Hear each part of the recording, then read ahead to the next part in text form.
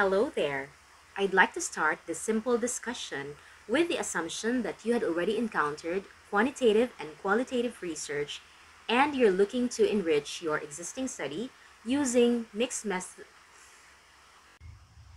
But first, a quick review of the two methods I had mentioned. Simply put, quantitative research deals with numbers and statistics to quantify attitudes, behavior, and other defined variables, while qualitative research deals with non numerical data to understand concepts, opinions, or experiences. With this in consideration, quantitative data can be collected through experiments, observations recorded as numbers, survey questionnaires with close ended questions. Qualitative data can be collected through interviews with open ended questions, which can either be one on one, an example of which is a key informant interview, where an expert or some experts or key persons in the field can be interviewed, through focus group discussion, where a small group of selected participants are gathered to represent the population under study. Other means of collecting qualitative data are participant observation and literature review. After collecting these data, quantitative research is expressed in numbers through graphs and tables in order to test or confirm theories. Qualitative research is expressed in words in order to understand phenomena. Collected data then go through statistical analysis if they are quantitative in nature whereas qualitative data are analyzed through content analysis, thematic analysis, or discourse analysis, whichever is most appropriate. In a capsule, quantitative research is helpful to confirm or test something, such as a theory or a hypothesis, while qualitative research is helpful if you want to understand something, such as concepts, thoughts, opinions, or experiences. Mixed method research is a methodology that incorporates multiple methods to address research questions in an appropriate and principled manner according to Bryman 2012, Creswell 2015, Creswell and Plano Clark 2011, which involves collecting, analyzing, interpreting, and reporting both qualitative and quantitative data. Findings from mixed methods research offer a holistic view of a phenomenon and provide additional insights into different components of a phenomenon, which might help for generating substantive theories, according to Venkatesh and others in 2013. Now, the question is which mixed methods design will you use? The selection of the best design may not be an easy task for a researcher, especially when you're a student and you have budget and time constraints. Just bear in mind to choose the design that helps you get the answers to your research questions in the most time and energy efficient way. Three common types of mixed methods research include convergent parallel mixed methods design, explanatory sequential design, and exploratory sequential design. Convergent parallel mixed methods design in this design, quantitative and qualitative methods are mixed to obtain the results.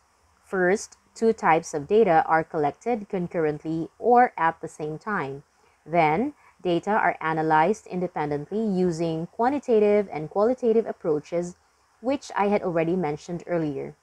In a convergent design, the integration of quantitative and qualitative methods will help the researcher get a complete picture of the issue being explored and to validate one set of findings with the other. For instance, if the researcher is examining the, the impact of the different learning modalities to basic education in the new normal setup, he or she can, contact, can collect quantitative data through survey questionnaires and collect qualitative data through interviews of students and teachers in order to get to understand the issue. In the analysis phase, the researcher can look for common concepts across both sets of findings. Explanatory sequential design. This design occurs in two phases. It begins with collecting and analyzing quantitative data and then following it with qualitative collection and analysis. Let's take the same study mentioned in the first MMR design. The researcher gathers quantitative data through survey questionnaires. Then once the data has been analyzed, the researcher then explores on selected findings and explains them through qualitative means. For example, the survey results will show that the blended learning modalities have made the teachers and students use more digital technologies. The researcher may proceed with collecting qualitative data by interviewing students and teachers in order to delve deeper into this finding. Exploratory sequential design. This design happens in three phases. First, the researcher explores an issue in depth through qualitative means. The second phase includes the creation of the quantitative instrument, such as a questionnaire, to identify and measure the variable and statistical trend. The third phase is the collection of quantitative data using the instrument created in phase 2. For example, using the same study mentioned earlier, the researcher may conduct interviews in order to gather students' and teachers' views about the different learning modalities used in the new normal setup.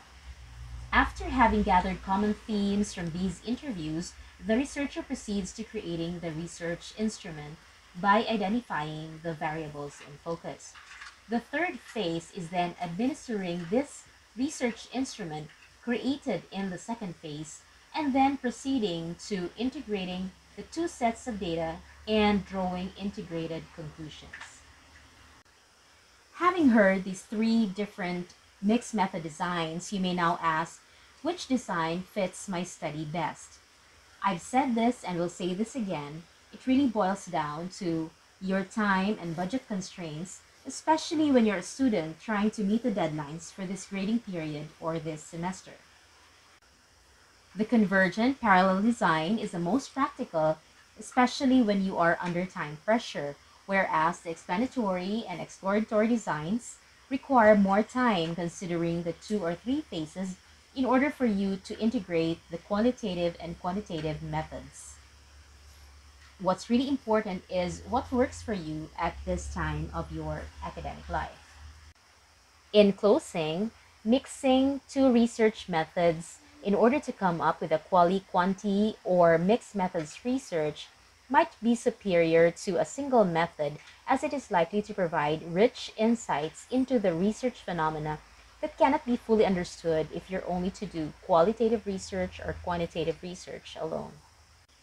I wish this video has helped you get started in your mixed methods research endeavor and if there's any topic that you would wish us to tackle in our next videos, kindly leave a comment in the comment section below. Thank you.